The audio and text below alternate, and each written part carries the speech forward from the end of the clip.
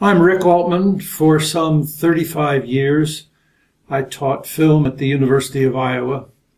I spent much of my active life trying to convince people that films were more than just images, that they had sounds. Little by little, people have convinced themselves that that really is the case.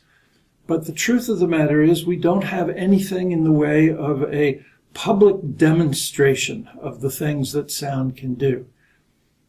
Here at uh, Ball State, I've had the opportunity to listen to some of the materials that Steve Lee has put together. I didn't know Steve before this conference, but I've been really impressed by the way in which he has shown his knowledge of sound.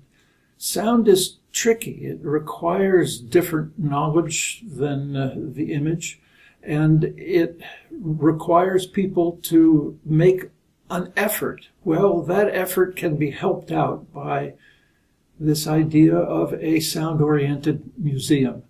I've talked to Michel Chion about the possibility of doing something like this in Paris.